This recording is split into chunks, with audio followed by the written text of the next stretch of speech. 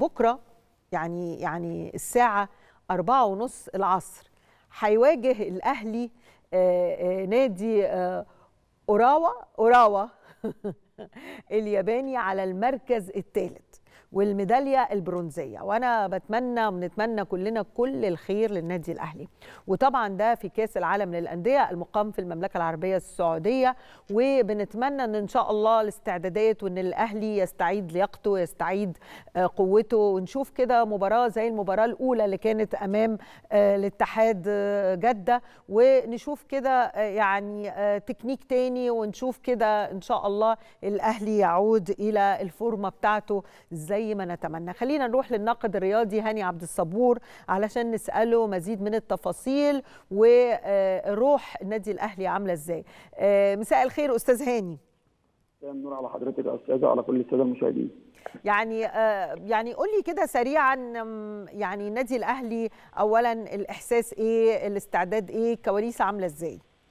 خليني أقول لحضرتك إن كان في حالة حزن شديدة جدا بعد. الهزيمه أمام فلومينينز البرازيلي اللعيبه يعني قعدت 48 آه، 24 ساعة في حالة حزن كبيرة جدا. بعد كده الشناوي وعلي معلول والكباتن اللي موجودين في الفريق عقدوا جلسات مع كل الفريق على آه، سواء جلسات جماعية أو جلسات منفصلة في حضور الدكتور النفسي. وكله اتكلم في فكرة إن إحنا خلاص آه، مرحلة وعدت ولازم نصالح الجماهير بالميدالية البرونزية ونحقق الفوز على اوراوا من أجل تحقيق الميدالية البرونزية للمرة الرابعة في تاريخ النادي.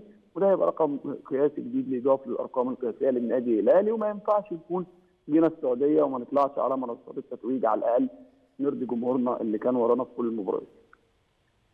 طب أستاذ هاني عايزه أسألك هل في تغيير في التشكيل هل هنتفاجئ بقى ونتيجة للمباراة آه، اللي فاتت يبقى في تغيير تاني أو في فكر تاني خليني أقول لك إن هو مستر كولر هيبدأ يعني بنسبة كبيرة بنفس التشكيل. اللي هو كان فيه تمرين من شوية انتهى منذ لحظات التمرين كان فيه اختبارات بدنية لبعض اللاعبين الموجودين في النادي الأهلي. الحالة البدنية للعيبة هي اللي هتحسم ما عدا ذلك يعني اللاعب اللي مش قادر بدنيا مش هيكون موجود في التشكيل. عدا ذلك مش هيكون في تغييرات في التشكيل لأن كولر شايف إن ده التشكيل الأمثل والأفضل للنادي الأهلي في الفترة الأخيرة.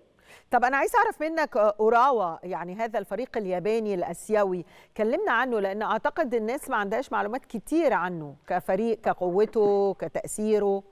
خلينا نقول لحضرتك إن هو فريق من من الفرق ال- ال- ال- مش يعني مش قوية جدا في أسيا لكن فاز بدوري أبطال أسيا. كنا شفناه كلنا أمام مانشستر سيتي كان في يعني تعب فريق مانشستر سيتي الإنجليزي في الشوط الأول لكن في الشوط الثاني فريق انهار طبعا بشكل عام الفريق عنده سرعات كبيرة جدا بيتميز بيها لكن على المستوى التكتيكي مش في أفضل حال وإن شاء الله الأهلي قادر على تحقيق الفوز.